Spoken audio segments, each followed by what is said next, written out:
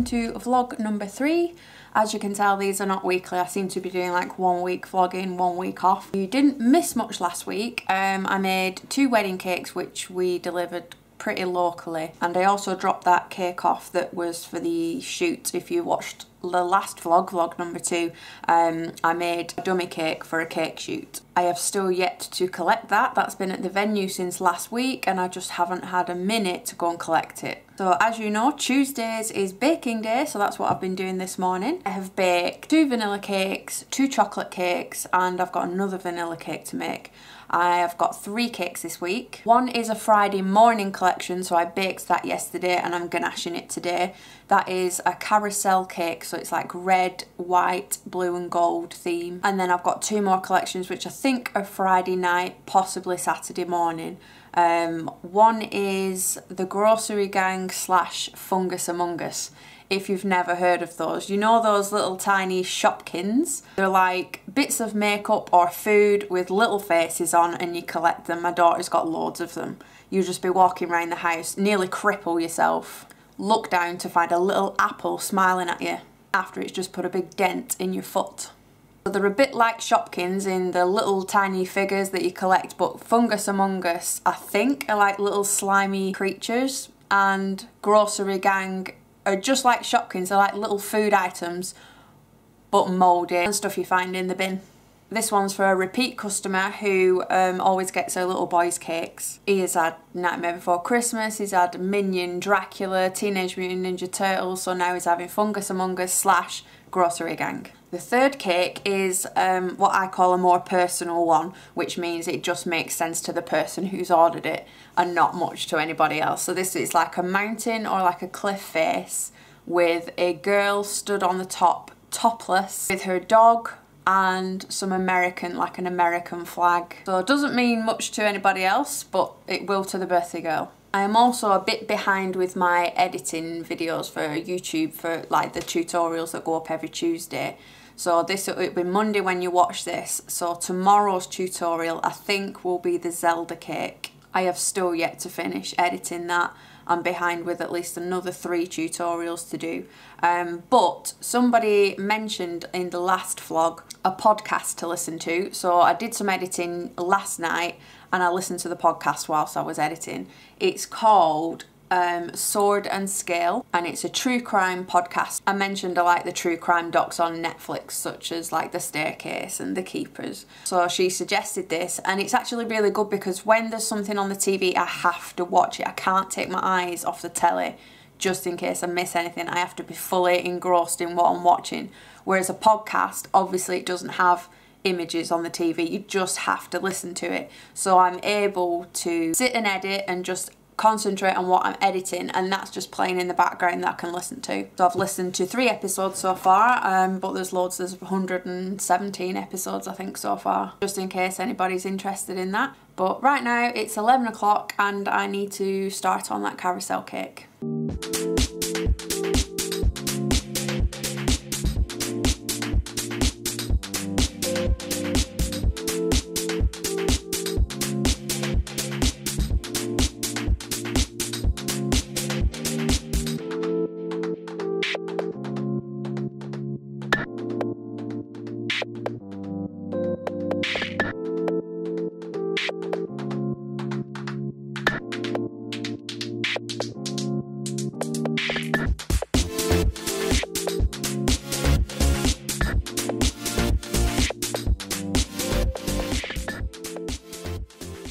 I've just had a parcel delivery.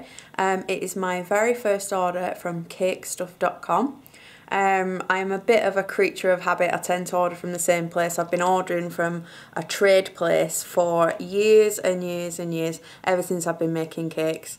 Um, unfortunately, over the last like six months, the boxes were arriving with lots of stuff missing or usually when I'd order it would arrive in two to three days and it would take in five to seven days and because I wasn't used to waiting so long for for the stuff I was running out of things. Once I had a full box of icing um, my Renshaw's white that I usually use the entire box got shipped to somebody else and I received a full box of marzipan instead so I received his order and he received my order. Um, and instead of like the company sending out my icing so I could use it, I actually had to wait for them to go and collect it from him to then give it to me. And I thought that was a bit rough because then I had to go out um, and buy some last minute icing, which were costing me like £4 a packet instead of my usual trade price.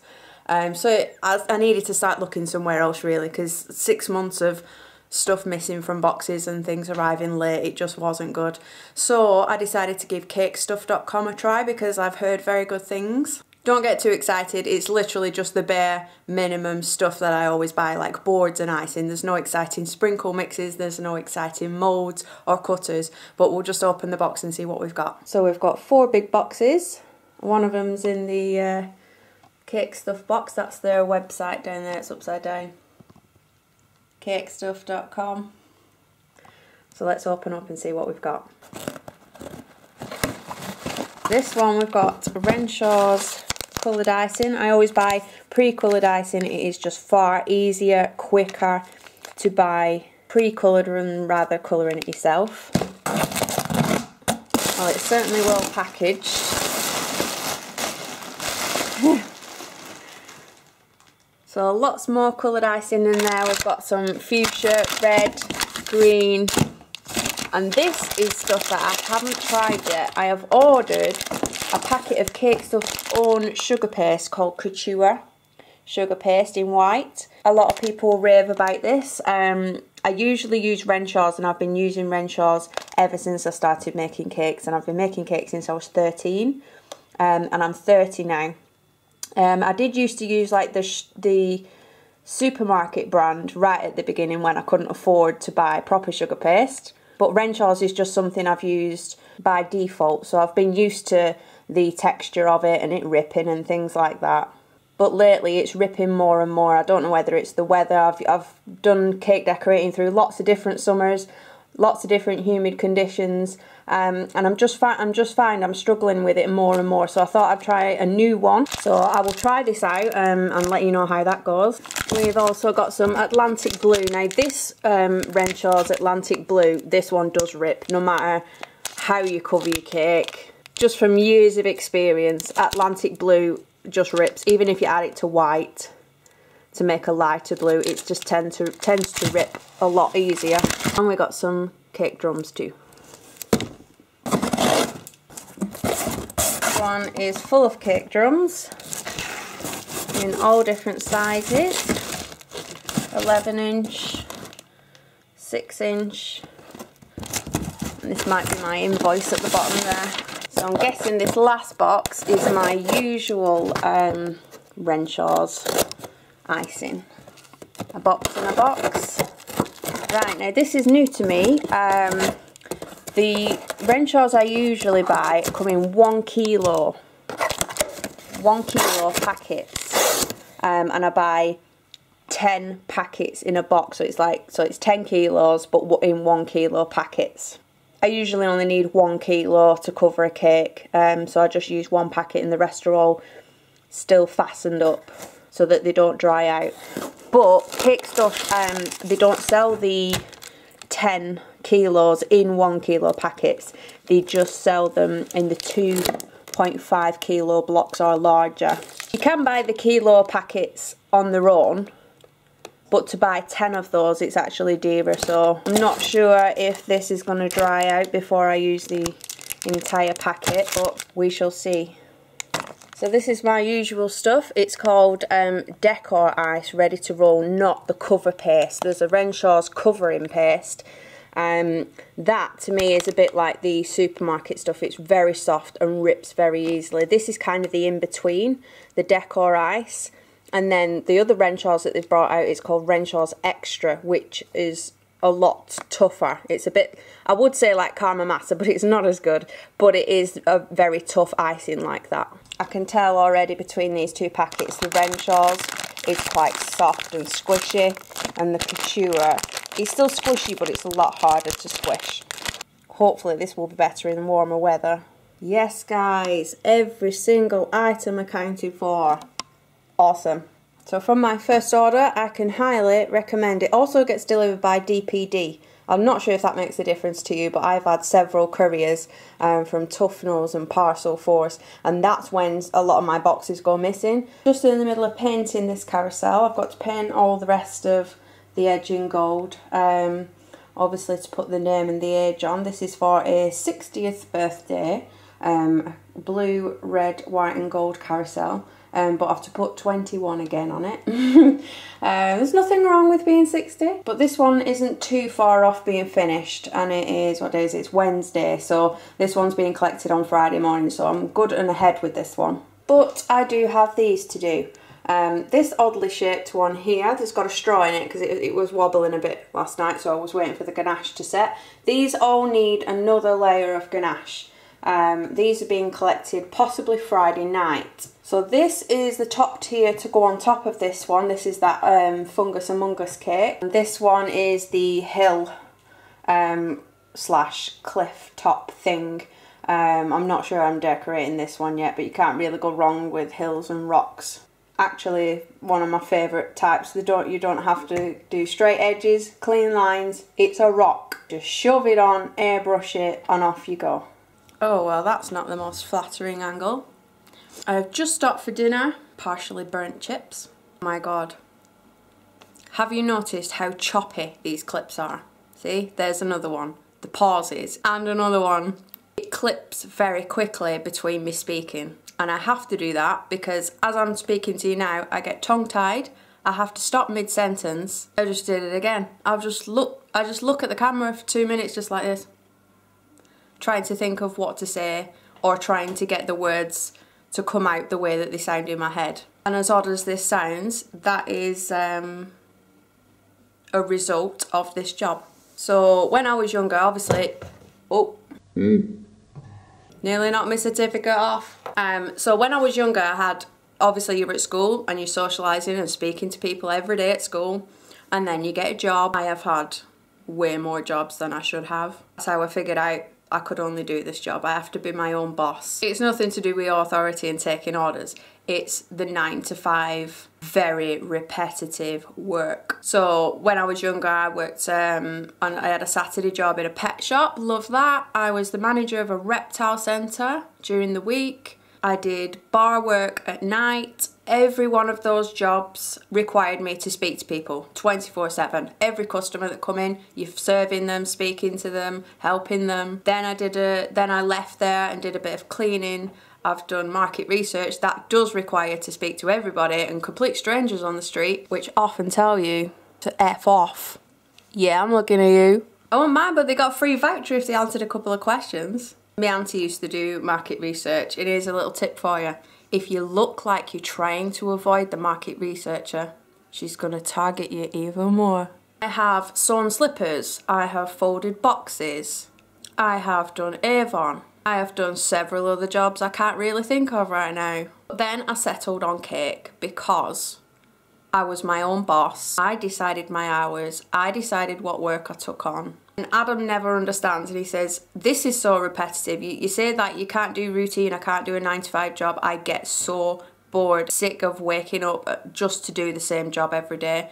And he can't understand why this is any different because he's like, You're always baking and you're always decorating. But I'm not baking every day, I'm only baking one day of the week. I'm only decorating two days of the week.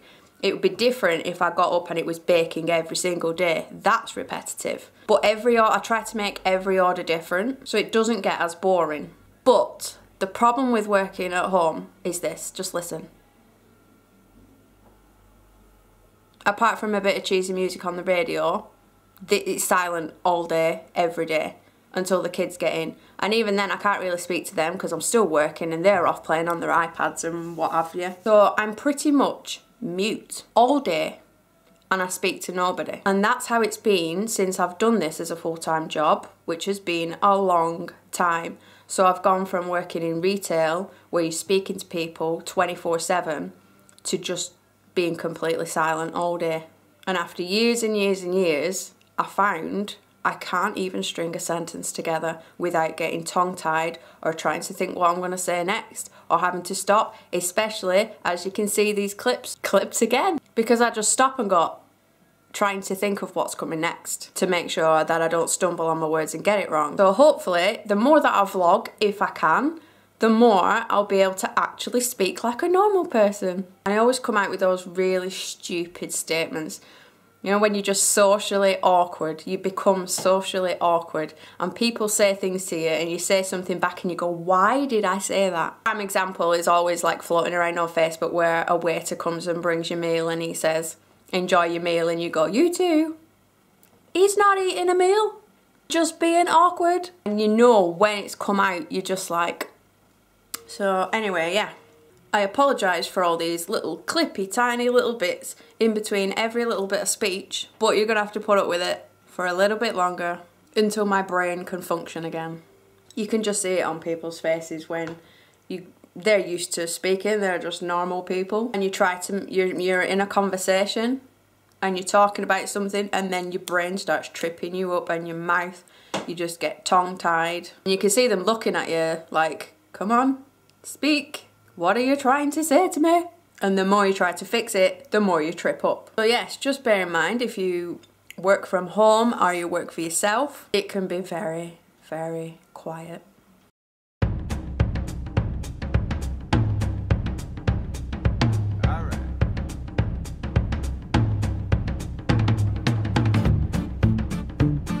Morning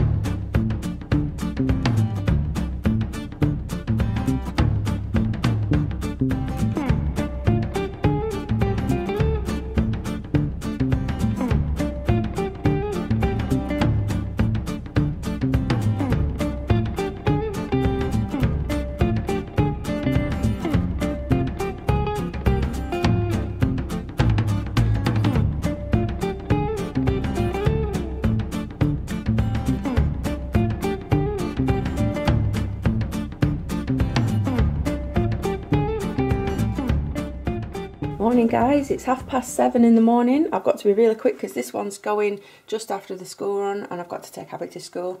Um, just wanted to quickly show it you finished. So, mum, 21 again. It's now all painted and ready to go. I always get asked about these horses. Every time I post a carousel, I get asked about these horses. Um, this is a prototype mould, which means I'm the only one with the mould. Um, you can get other moulds where the horse goes straight onto the stick all in one piece. Um, but unfortunately, this specific one where the horse face is right um, isn't available at the moment. And next to it is the Grossery Gang Fungus Amungus one finished. So that's two down and one to go. I actually really fell in love with these Grossery Gang. I like them a lot more than Shopkins and they've all got names. I think this one's called um, Icky Drumstick, uh, obviously Rotten Egg, Horrid Hamburger, Rough Toilet Paper. I'm not sure the names of these ones because these are the Fungus Amungus um, creatures. This one's going tonight, this one's going this morning, and I've got one in the kitchen to get finished for tonight as well. Right, that's the school run done. Just waiting for the carousel cake to be collected. Um, when I know that there's a collection happening, I literally just sit here and have to wait. Because um, if I start working on another cake, you can guarantee the doorbell will go when you concentrate on something that you can't leave. Like you'll be holding a whole piece of icing just about to put it on a cake and the doorbell goes or you'll be right in the middle of a model. Um, so that's what I'm doing right now. I'm in the middle of a model. This is the topless girl on top of a mountain cake. I will show you whereabouts I'm up to that in a minute, but I worked on that last night. Um, Adam tried to get me to sit down at seven o'clock last night. He said, why don't you work till seven and then we'll sit down and watch some telly.